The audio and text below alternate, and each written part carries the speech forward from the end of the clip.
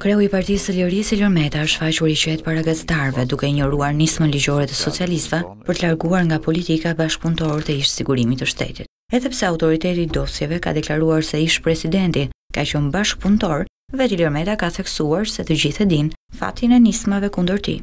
Më argëton kjo nismë e re,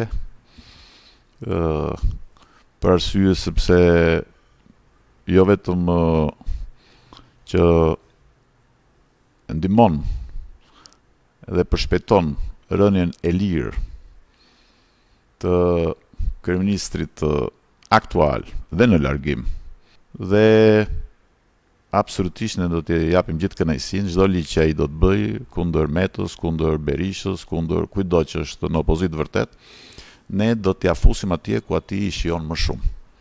Ajo që ai nuk e shmang dot dhe që ka përfunduar një herë e përgjithmonë është që ai do të përgjigjet. Do të përgjigjet. Sipas ligjeve që ka bërë vetë. Prej javësh Ilir Meta ka hedhur poshtë çdo akuzë të ngritur ndaj tij, duke theksuar se kurrë nuk ka pasur lidhje me ish-sigurimin e shtetit. Dhe në këtë situatë ai është fokusuar tek beteja kundër qeverisë, duke nisur nga denoncimi i nismës për t'i dhënë shtetësi shqiptare të gjithë atyre që investojnë në Shqipëri. Dhe kjo është një nismë për të bërë marrëveshje me persona të cilët kanë para dhe të cilët dëshirojnë t'i pastrojnë apo dëshirojnë të përfitojnë nga pozita që ka Shqipëria qoftë si një vend anëtar i NATO-s, qoftë dhe si një vend i mundshëm nesër për t'u anëtarësuar Bashkimin Evropian. Nga ana tjetër, Ilir Meta ka hedhur alarmin për situatën ekonomike të vendit, duke u fokusuar tek borxhi.